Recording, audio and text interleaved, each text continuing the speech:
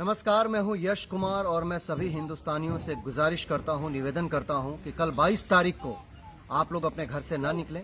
प्रधानमंत्री जी ने ये जो बात कही है, ये आपके और हमारे भले के लिए कही है। इसके पीछे का कारण ये है कि कोरोना का ये जो वायरस है, वो सिर्फ़ और सिर्फ़ 12 घंटे तक ही ज़िंदा रहेगा। और प्रधानमंत्री जी ने बहुत सोच कर बहुत समझ करके ये फैसला लिया है कि सुबह के सात बजे से रात के नौ बजे तक अगर हम घर में रहते हैं तो वो चौदह घंटे होते हैं। कोरोना का वायरस जब 14 घंटे तक इंसान के संपर्क में नहीं आएगा तो खुद ब खुद मर जाएगा। प्रधानमंत्री जी का ये जो एक मुहिम है वो आपके और हमारे भले के लिए मैं यश कुमार हिंदुस्तान का एक नागरिक होने के नाते मैं इन दिनों कोई शूटिंग भी नहीं कर रहा हूँ। और कल 22 तारीख को मैं सुबह से शाम तक अपने घर में रहूँगा।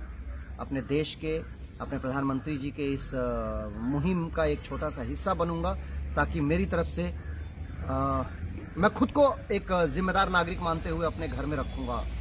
लोगों के बीच में, हमारे माँ बाप के बीच में, हमारे भाई बहनों के बीच में, आप सबसे भी गुजारिश है कि आप कल के दिन कहीं मत जाएँ, अपने घर पे रहें और अपने प्रियजनों के साथ अपना एक सुखद वक्त व्यतीत करें।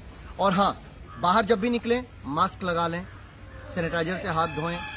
मास्क कहीं कहीं इन दिनों नहीं मिल रहा है, महँगा है तो आप लोगों के पास गमछा होगा, साफ़ गमछा अपने मुँह पे लपेट करके रहे, साबुन से बार बार हाथ धोएँ। अपने आप को स्वस्थ रखें, सुखद रखें। जब आप स्वस्थ रहेंगे तो हमारा हिंदुस्तान मज़बूत बनेगा, सुखद बनेगा।